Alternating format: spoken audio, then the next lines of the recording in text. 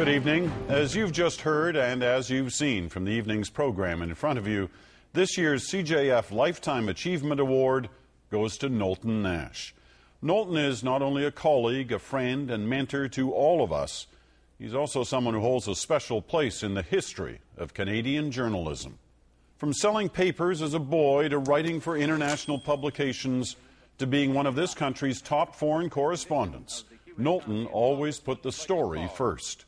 An undying dedication to his work and a natural instinct for storytelling have made him a trusted voice to Canadians for decades. I'm Knowlton Nash. The President of the United States has the most impossible job. In the late 50s, he became the public broadcaster's Washington correspondent. A passion for politics fueled his stories. In 1969, he switched gears and became the CBC's head of news and information programming.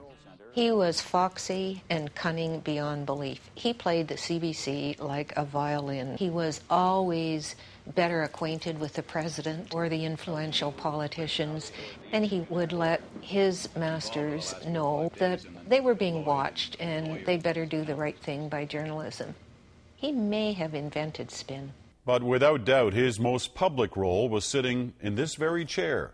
Well, maybe not this exact chair, but for a decade, millions of Canadians tuned in to watch Uncle Nolte give them the nightly news. The National with Knowlton Nash. Good evening and welcome to our new hour. The only question now is will he take every single state in the country? It's a landslide for Ronald Reagan. And that's the National for Wednesday, October the 31st. I'm Knowlton Nash. Good night and Happy New, Happy New Year. Happy Halloween. You know, it's a nice little 14 hour day, but hell. With such devotion to his work, it didn't always make Knowlton's personal life easy. But Lorraine Thomson changed all that. I think after six years, we'd lived together longer than he'd ever been married to anybody before. Knowlton has a very active mind. His mind is always busy, and so therefore he likes to have work going on all the time, something that he can concentrate on. Knowlton is also part of the reason you are here tonight, rewarding excellence in journalism. Knowlton Nash is a founding member of the Canadian Journalism Foundation. In some ways, I think of journalists as teachers. We really are. Maybe it's a bit flattering to ourselves to call ourselves teachers, but I really think we are teaching people what's happening, where it's happening, and thereby doing a real, a real important service to the country. Knowlton remains uh, the most balanced, least prejudiced journalist of all time. He will not speak out on any controversial issue unless it is uh, the uh, principles of journalism and the independence of journalism. That the only way that Canadian broadcasters can really succeed in the 21st century will be to have more Canadian programming. Thank you very much. I think he reminds most journalists that this is about taking the high road that there are standards, uh, that there are principles, that ethics is an important part, that fairness is an important part of what we do. And as I say, I think that may be, in today's atmosphere, the most important job that he's ever had.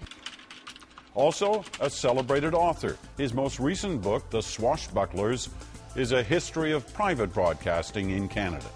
In 1989, he was made an officer of the Order of Canada. In 1995, he was given the John Drainie Award. His career has always been based on integrity and hard work, two guiding principles he has always tried to instill in others. It's an honor for me to play a small part in this evening's tribute to a great journalist and a great friend. Best wishes to you, Knowlton, on an award truly deserved. Good night. Good night. Good night. So until the next time, I'm Knowlton Nash with CBC News. Good night.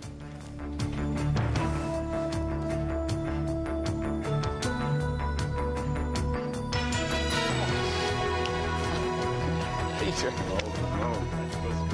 Oh, thank you. thank you, Mark. Yeah.